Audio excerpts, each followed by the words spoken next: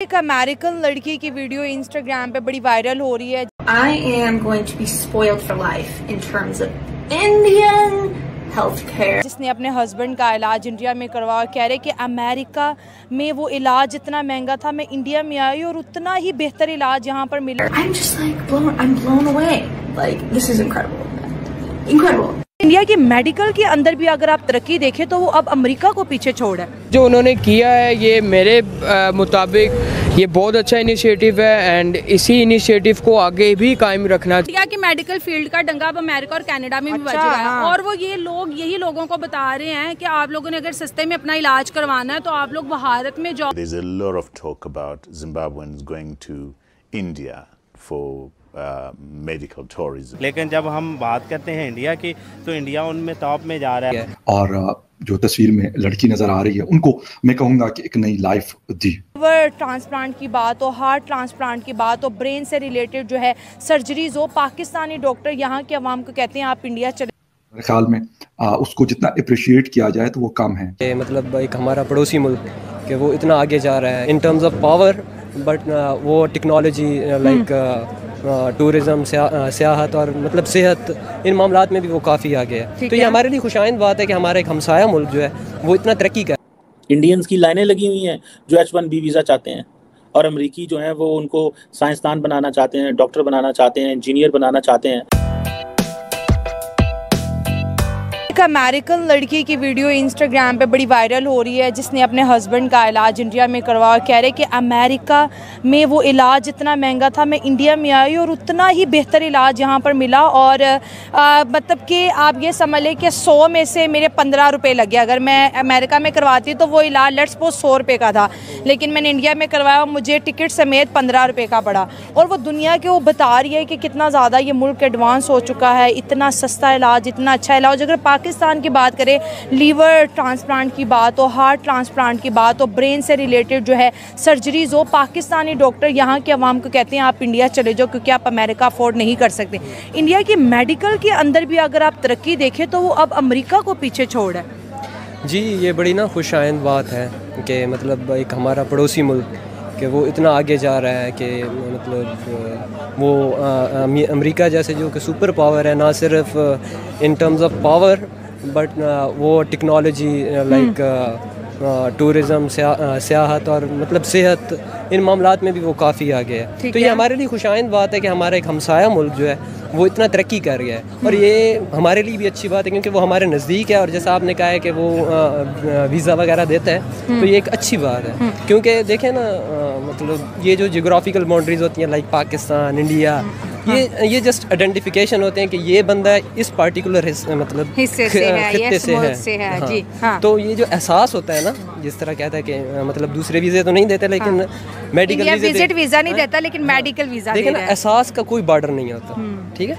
तो ये एक बड़ी खुशाइंद बात है अगर वो इतना तरक्की कर रहे हैं हमारे हमसाए हैं हम भी जाके इलाज कराते हैं तो ये जब मैंने ये वीडियो देखी अमेरिकन लड़की के इंस्टाग्राम पे पहले तो मुझे यकीन ही नहीं आया कि अमेरिका इंडिया की तारीफ़ करा। वैसे तो वो हर चीज़ में करता है लेकिन मुझे क्योंकि आपको पता है कि अमेरिका में भी ट्रीटमेंट बहुत ज़्यादा अच्छे होते हैं। हाँ। और वो फिर इंडिया की तारीफ़ करी और वो इतनी ज़्यादा एक्साइटेड एक्साइटेड भी हो रही थी कि मैं अपने शोर को इंडिया लेके गई वहाँ पे मैंने उनका इतने सस्ते में इलाज करवाया कि मेरे पास वो पैसे भी बच गए मेरा शोर भी ठीक हो गया आ गया। और ये वीडियो मैंने इसलिए बनाई है कि लोगों को आइडिया हो कि अगर अपना इलाज करवाना है तो इंडिया आप लोग जाओ। ये वही अमेरिका था जो पहले इंडिया को कोई समझता ही नहीं था हाँ। मेडिकल फ़ील्ड में क्योंकि अ, वहाँ की जो टेक्नोलॉजी थी वो बहुत हाई थी लेकिन आज इंडिया ने उनको टक्कर दे दिया। अमेरिकन हो गए कैनेडियन हो गए वो अब इंडिया में आकर अपना इलाज करवा रहे हैं। रही हमारी बात हमारे डॉक्टर्स तो पहले ही पाकिस्तानियों को बोलते हैं कि हाँ, जो इलाज जाते जो इलाज यहाँ पे इम्पॉसिबल है जो बहुत ज़्यादा महँगा होता है वो यही सजेस्ट करते हैं अगर आप लोगों ने अपने पेशेंट को बचाना है तो आप लोग बाहर चले जाओ। वहाँ पे ट्रीटमेंट भी बहुत सस्ता होता है और बहुत अच्छा होता है।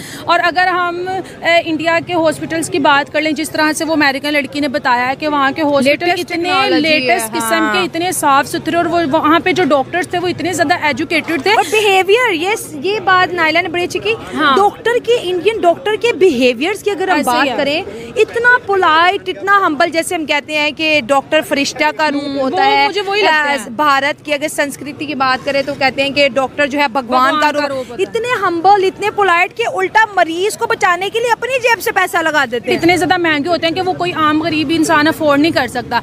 भारत की बात कर ले वहाँ के डॉक्टर्स के चेहरे पर एक स्माइल होती है जिसको मरीज़ देख के भी उसके अंदर भी वो हो जज्बा होता है है। कि यार देखो वो कितना अच्छा हमें ट्रीट करेगा। हाँ, ये चीज़ भी- बहुत मैटर करती है। ना पाकिस्तान में यही एक नैरेटिव है कि इंडिया जो है हमारा हरीफ मुल्क है दुश्मनी चल रही है सियासी हम्म। हैं दुश्मनी कश्मीर की दुश्मनी। लेकिन उसके बावजूद भी देखिए अगर मेडिकल की बात करें मेडिकल के लिए रॉ मटेरियल कहाँ से आ रहा है? हाँ। इंडिया इंडिया से आ रहा है। वैक्सीन कहाँ से आ रही है? इंडिया से आ रही है। हमारे ऑपरेशन थिएटर का 50 टू 70 परसेंट सामान कहाँ से आ रहा है? मेड इन इंडिया आ रहा है। हमारे जो एमबीबीएस के बच्चे जो ऑर्थर्स पढ़ रहे हैं वो कौन से पढ़े इंडियन ऑर्थर्स पढ़ रहे हैं। तो देखो वो कितने मतलब कि हम्बल लोग हैं। अगर हम अपनी बात कर लें तो मैं तो यही बोलूँगी कि यार जब इतना कुछ हमारा मेडिकल सिस्टम वहाँ से इतना कुछ हो रहा है वो भी दुबई के रास्ते में हमें महँगा पड़ जाता है। तो एक तरफ़ से आपने ईगो भी दिखानी है दूसरी तरफ़ से आपने फ्रेंडशिप भी नहीं करनी और तीसरी तरह से आपने सामान भी उन्हीं का यूज़ करना है तो फिर मैं ये कहूँगी कि ये लड़ाई दुश्मनी किस लेवल मैं आपको आगे चल के डेटा दूँगा प्रॉपर इकोनॉमिक टाइम्स का डेटा है भाई मेरा नहीं है। ये कहते हैं कि Pakistani government has been slow in addressing the issue of overseas begging Iraq and Saudi Arabia have complaint अच्छा। मच नीडेड फॉरेन एक्सचेंज तो वो कहते हैं कि भैया, क्योंकि बाहर जाते हैं तो फिर फॉरेन करेंसी में इनको भीख मिलती है। फॉरेन करेंसी में कोई कहीं से आया, किसी ने डॉलर दे दिया, किसी ने पाउंड दे दिया, किसी ने यूरो दे दिया। अब ये लोग क्या करते हैं? वही पैसा लेके पाकिस्तान में आते हैं। और पाकिस्तान में ये भिखारी बन जाते हैं लखपति, करोड़पति। एक्चुअली इनके बड़े बड़े घर हैं पाकिस्तान में और ये पूरा खानदान प्रोफेशनल बेगर है। और पाकिस्तान की सरकार इनकरेज करती है। देखो, एक दो हज़ार का इन्होंने पासपोर्ट ब्लॉक करने का, इन्होंने बयानबाजी ब्लॉक थोड़ा ना करेंगे यार। जो आप सोच रहे हैं ना कि पाकिस्तानी डायस्पोरा जो ओवरसीज पाकिस्तानी और मोटे पैसे भेज रहे हैं, ये ओवरसीज पाकिस्तानी ये हैं जो भीख मांग के जेल में जाते हैं। ये वो हैं भाई। आपको क्या लगता है? पाकिस्तानी जो कहते हैं डायस्पोरा बहुत मोटे पैसे भेज रहा है और पाकिस्तानी बड़े खुश रहते हैं। कौन सा पाकिस्तानी इतना क्वालिफाइड है यार, जो बाहर पता नहीं कौन सी नौकरी कर रहा है? गूगल का सीईओ बैठा है जो मोटे पैसे भेज रहा है पाकिस्तान। ये तो यही, ये उबर उबर चलाते हैं पाकिस्तानी। या कोई छोटा सा अपना स्टोर खोल लिया, या अपना टिक्का विक्का बिरयानी बेचना, इससे ज़्यादा पाकिस्तानियों में इंटेलिजेंस है नहीं। ना उनके, ये देखो, मैं गलत बात नहीं कह रहा। और किसी पाकिस्तानी का अगर मन खराब हो मेरी बात सुन के that was the entire intention ये देखिए। Pakistan reportedly has 38 million beggars Karachi में, अब अब, आप, मैं आपको डेटा पाकिस्तान का बता रहा हूँ, फिर मैं आपको इनका जीडीपी का डेटा बताऊँगा। ये बड़ा इंटरेस्टिंग है। कराची में एक भिखारी दो हज़ार रुपए कमाता है एक दिन के। ठीक है जी? ये कराची का डेटा है। लाहौर में एक भिखारी जो है, चौदह सौ रुपए कमाता है। यानी कि क्योंकि Karachi is the financial capital of Pakistan सारा का सारा जीडीपी उनका 60 65 परसेंट वहीं से आता है और सबसे ज़्यादा अमीर शहर है पाकिस्तान का कराची, इसलिए वहाँ पे दो हज़ार रुपए दिन का एक भिखारी कमाता है कराची में।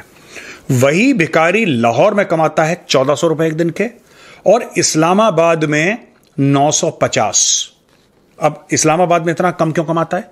क्योंकि इस्लामाबाद में बड़े बड़े ब्यूरोक्रेट रहते हैं बड़े बड़े जज रहते हैं बड़े बड़े जर्नैल रहते हैं, रावलपिंडी बगल में ही है। तो इन भिखारियों को उनसे भी तो कंपटीशन है, वो थोड़े सीनियर भिखारी हैं, थोड़े जूनियर भिखारी हैं। तो इस्लामाबाद में भीख के लिए कंपटीशन ज़्यादा है। ना इसके बाद आपने खड़े होकर सल्यूट करा तो मेरा नाम बदल देना। ये over 12 percent of Pakistan GDP है।